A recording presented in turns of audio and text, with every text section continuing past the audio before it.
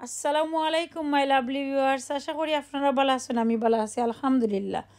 আল্লাহর রহমতে আর আপনারা দোয়া। দেখো আমার গার্ডেনের খসু। এত সুন্দর খসু হয়েছে মার্শাল্লাহ আর আমার গার্ডেনের খসুগুলারে আমি এখন দাদি বানাই লিরাম। আর এই খসু আত একদম খাজ্জাইছে না মার্শাল্লাহ বাংলাদেশের খতু খসু বুঝি আত খাজ্জায় বা ইতে খাজ্জাইছেন না।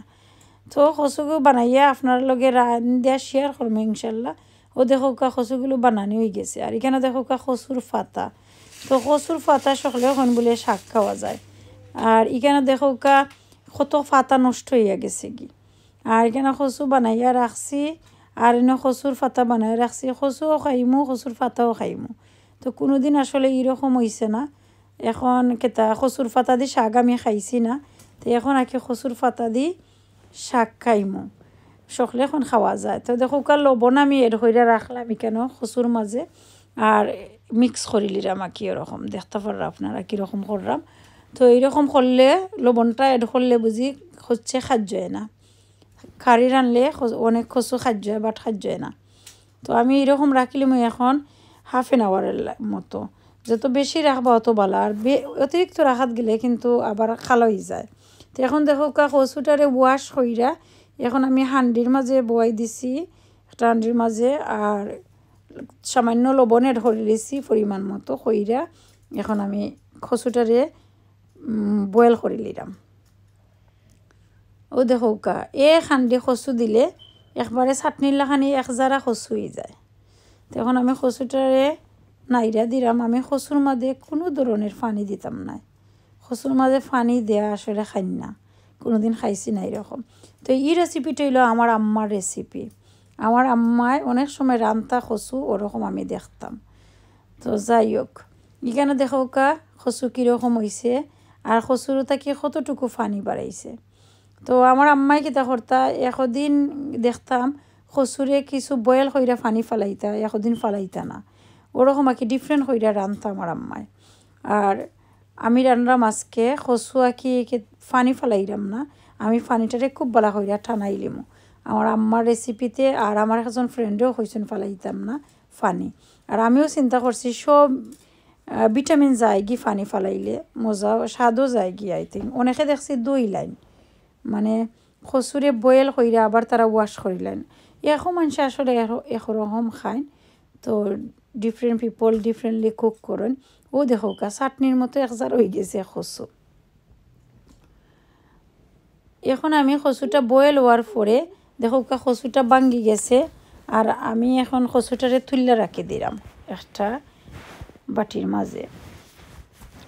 এখন হান্ডিটা ওয়াশ করে আনছি, এনে দেখো কা তেল এড করে নিলাম। পরিমাণ মতো তেল দিলাম। সেও সরিষার তেল দিন মাস্টার অয়েল। তেল গরম হওয়ার পরে দেখো আমি পেস্ট এড করলাম। পেঁয়াজ এড হইয়া পেস্টটা মিক্স করলাম।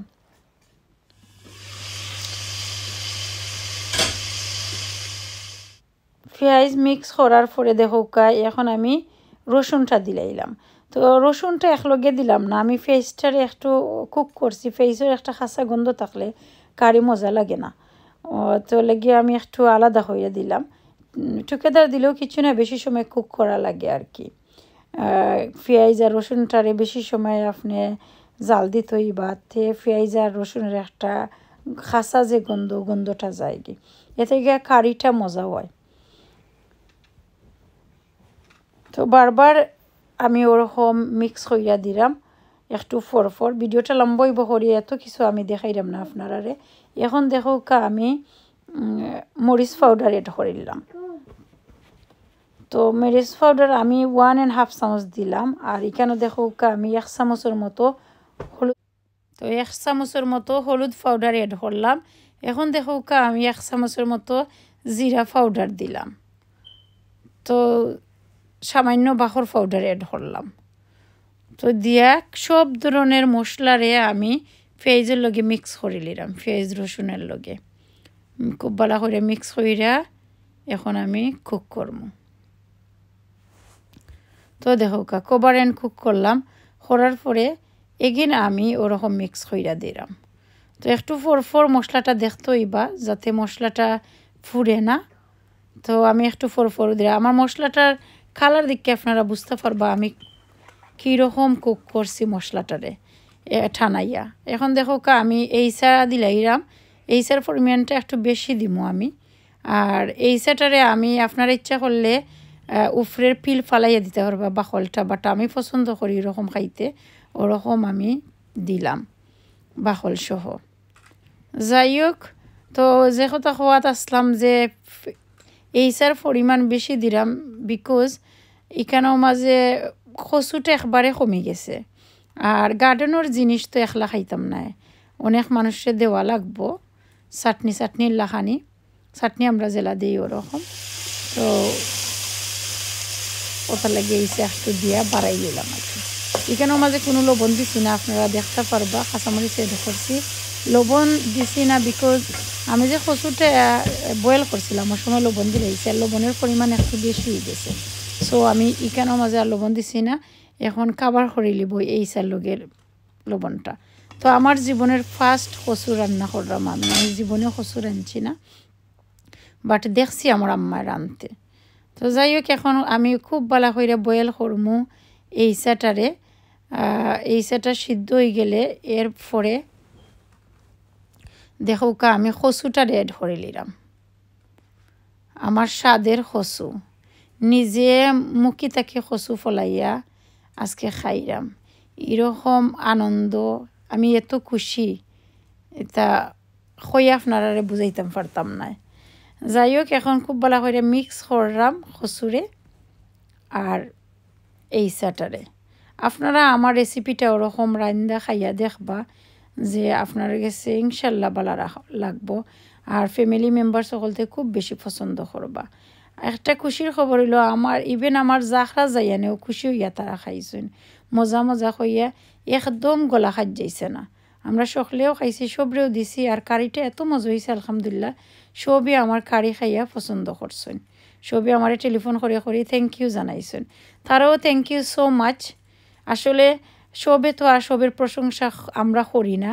সেও সেও মানে প্রশংসা করতে বলা পায় না আর সেও সে প্রশংসারে লুকাইয়া রাখতে বলা পায় জানি না সে কীরকম মাইন্ডে নিবা বাট মাতে মাতে আঁকি মনে হয়ে গেছে আমার। বিকজ যারা আমরা তো সহজে সের গুণ গাই না সের প্রশংসা করি না। বরং আমরা মানুষের খুদ তুকাইয়া আটি যে দুষ তুকাইয়া আটি। মানুষের দুষ তুকাইয়া আটলে আসলে দুষই পাওয়া যায়। আর যদি গুণ তুকাইতে গুণও পাওয়া যায়।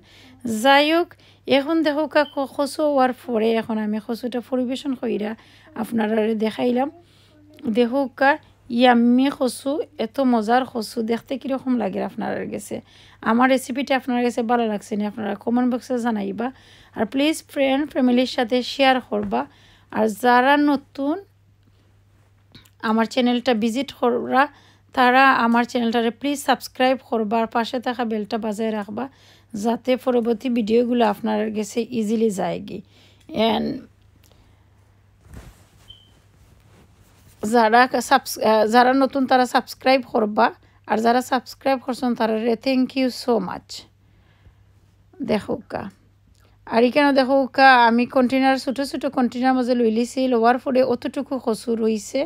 আমি জাখরা বা জাখরা যাইয়ান আমরা চাইরজনে এখন খাইলিমো আরেও দেখোকা বন্দি করে লিছি বক্সর মাঝে তুরা তুরা খইরা আমার জালের লাগি একটা আরও তিন তিনটা। তো জাখার আব্বাই যদি আমার জালের লাগি লইয়া যান রিকোয়েস্ট করমু, তো ফাটাইমে ইনশাল্লাহ কি আর এখন দেখো কা, আমি কচু খাইরাম। এত মজার কচু হাসা কথা কইমু আপনারা লগে। মিছা মাইতা গুণা কইরা লাভ নাই। এত মজার কচু হয়েছে আমি কল্পনা স্যার আমি ডরাইছিলাম বিকজ আমি কচু কোনোদিন রাঁধছি না। তো ডরাইছিলাম মজা হইব কিনা? আলহামদুলিল্লাহ আলহামদুলিল্লাহ। এত মজা হয়েছে মার্শাল্লাহ মানে জানে স্যার কচু আরও খাইতাম। একসময় কচু ইতা খাইতাম না, আমার আম্মা রান্তা যে, আর এখন নিজে রান্ধি নিজে সপ্তাহ খাইতে। বালা থাকুকা সুস্থ থাকুকা। আসসালামু আলাইকুম, আল্লাহ হাফিজ।